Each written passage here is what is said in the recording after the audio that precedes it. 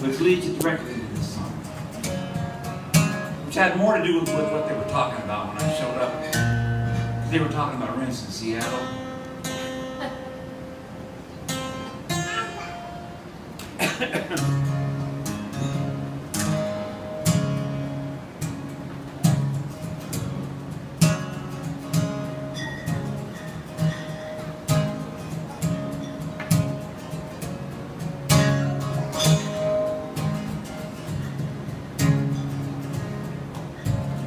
coming up from South California.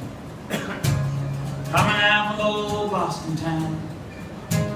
You're looking at the beautiful trees and the water. Thinking about settling down. You've been hearing about all of the money. Dreaming of a house on the hill. Thinking that you might get lucky. Maybe there's room for you still. So you're driving up with everything you've got in that car. Or you're flying in on a plane. And you're taking a bus into downtown Seattle. That's the last that you saw of your dream. Because yes, they got all of that beauty. And yes, they got money to burn. But they also got people living under the freeway. And that's when you road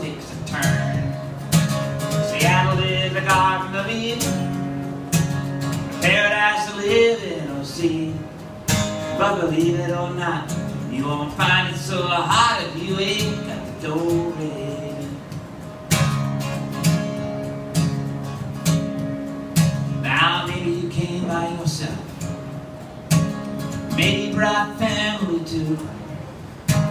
Maybe you got some skills you can use. Maybe you're gonna just have to make do. You've been looking for work online at the library. Figure that you'll make it somehow. But you ran out of money for that room on Aurora and you're wondering where to go now. Well, you could live in your car if you had one. There are plenty of people who do. But they towed it away to the impound. And now you're wearing a hole in your shoe. You see rock and roll heroes and sports stars. Millionaires out living under the overpass. The cops just keep moving them around. Seattle is a garden of Eden. A paradise, that's what they say. But believe it or not, you won't find it so hot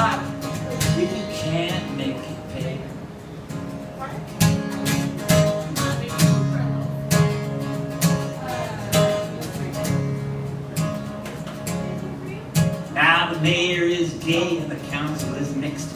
And there's a socialist riding on board. And they raised up the minimum to 50 an hour. That's the least that the boss could afford. Still you're sleeping on a cardboard mattress. And your house on the hill is a tent. And they could freeze all the prices right now. But you still couldn't pay for the rent. Now some people tell me there's nothing you can do about it. It's just human nature, they claim. This is the greatest system in the world. It just needs a little lube on the chain. Well, me, I got a better idea. I say let's shut it all down. Let's defang the bankers and sink all the tankers and spread all the money around. Cause Seattle is a garden of Eden. It's a paradise at the end of its line. So let's put it out with the re- recycling and try to do